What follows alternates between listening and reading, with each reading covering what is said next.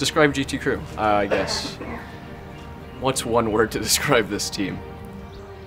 GT Crew is goofy and rewarding. It's discipline for me. It's a challenge to overcome, and I love it every day. Um, I describe GT Crew as one big fun family. Being a new student here and a freshman on the team, I couldn't have asked for a more supportive and wonderful family than what I've had at GT Crew. But if I had one word to describe GT Crew, I would say colorful. We're a lot of different people and come from a lot of different places, and we have a lot of different things going on at one time.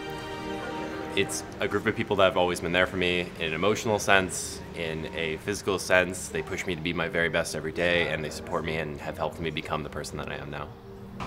GT Crew for me is just one big family. I think the one thing that drove me to join GT Crew is the emphasis on not needing prior experience. You know, we're all getting the same experience and the same um, first times for everything. In one word, I'd say family.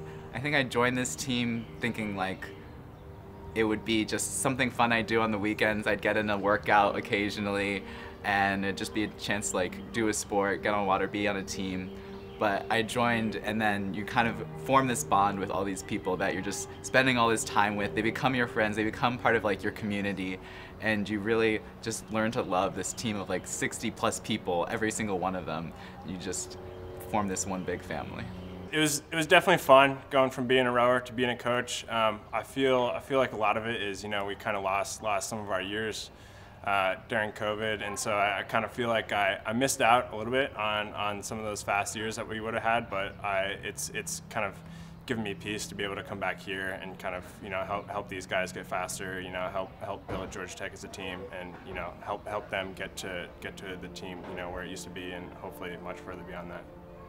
I don't know. That's a really hard question because it's I'm coming up on my 10th year with this team overall, like being involved as either like a rower, a coach, an alumni board member, um, and it's just been like this massive force in my life where I've met like really important people that are still around.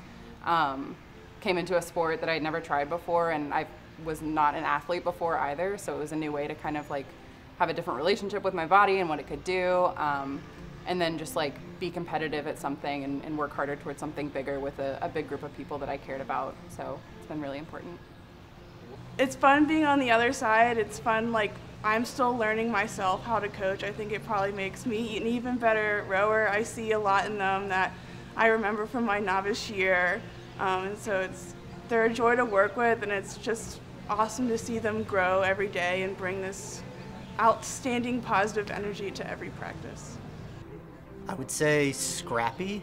Um, it's always a team that's trying to do a lot with uh, what we've got, which is sometimes new boats, sometimes old boats. Um, oftentimes competing against teams with a lot more money, a lot more resources, a lot closer boathouse, a lot more water in their river, and we just have to go out there and do the best with what we've got. I would describe GT Crew as an inclusive, loving environment where um, everyone looks out for each other. We're friends both in the boat and at practice, but also outside of it in school, and so that's a really nice thing to be a part of. Picking up rowing for the first time was really hard, but it's been very rewarding being a part of this team. You know, one, one thing I like about Georgia Tech is that we're, we're scrappy as hell. Um, you know, we're going against all these teams who are rowing out of their fancy boat houses, rowing with their, you know, erg shacks and their really nice million dollar boat houses. And, and we're here sitting, sitting in a tent. We row out of a tent. We're pretty much camping when we go to the boathouse every day. But I think that's, that's what makes us us. We're really like building more towards a, a stronger future for the team. Um, and again, I think culture wise, like, yes, we have stuff to work on. Um, but the direction of it, I think, is moving towards like a healthier space and something that will keep people around and keep them wanting to try harder. And, and we're just going to keep growing together, and I'm excited.